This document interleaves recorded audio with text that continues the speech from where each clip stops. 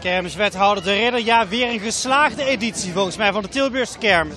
Absoluut een geslaagde editie. De, vanaf het eerste moment dat we open zijn gegaan uh, tot, tot en met nu uh, is het uh, een en al groot feest. Hoe is deze kermis nou geweest in verhouding met andere jaren?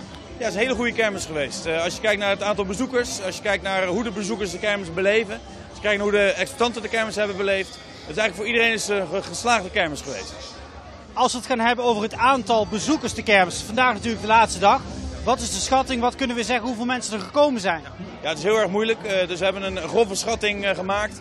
Wij denken dat er tussen 1,3 en 1,4 miljoen bezoekers zijn geweest dit jaar. Als alles goed gaat tot het einde van, de, van vandaag natuurlijk. En dat is ook uh, mile high op dit moment? Of? Uh, nee, nee, dat is iets meer dan vorig jaar. En uh, iedereen die op de kermis spreekt, die zal ook wel erkennen dat het vorig jaar gewoon wat rustiger was dan dit jaar. het is, ja, we hebben weer de goede lijn te pakken wat mij betreft. Roze Maandag volgens mij ook altijd weer een succes. Ja, Roze Maandag was zeker dit jaar een geweldig succes. De 25e editie met de 25 huwelijken die zijn gesloten door Henny Huisman. Ja, dat heeft uh, Roze Maandag weer helemaal nieuw leven ingeblazen wat mij betreft. Nou, dat is in ieder geval goed, uh, goed nieuws. Gisteren volgens mij een iets mindere dag. Ja, gisteren, de zaterdagmiddag, is gewoon een mindere dag geweest. Uh, we hadden natuurlijk het weeralarm, code oranje.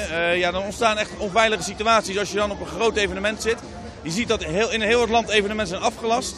En gelukkig konden wij de, ja, de schade beperken tot, uh, tot 5 uur. Uh, en op, om 5 uur kon de kermis open. En gisteravond was het gewoon weer een geweldig feest in de stad. Voor Tilburgs kermis heeft die dag dus eigenlijk niet zo heel veel schade opgeleverd.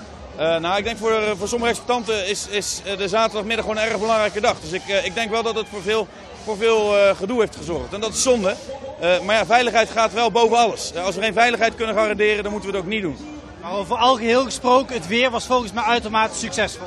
Ja, super. Niet te warm, niet te koud. Uh, gewoon uh, prima weer uh, om een heerlijke kermis te beleven. En dat is mooi gelukt. Zijn er al dingen die we voor volgend jaar een tipje van de sluier op kunnen lichten of is daar nog helemaal geen sprake van? Nee, nou, ik kan in ieder geval één ding beloven. volgend jaar is er gewoon weer een Tilburgse kermis. En ik zou zeggen, kom allemaal.